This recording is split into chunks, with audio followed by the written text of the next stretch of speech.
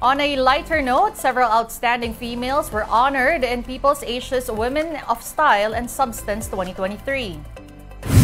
Among the awardees are Cignal TV and MediaQuest President and CEO Jane Jimenez Basas, Creamline Cool Smashers star Alyssa Valdez, megastar Sharon Cuneta, actress Dolly De Leon, U.S. Ambassador Mary Kay Carlson, Miss Universe Philippines 2023 Michelle Marquez Dee, and Dr. Casey Reyes, a dermatologist and preventive medicine advocate.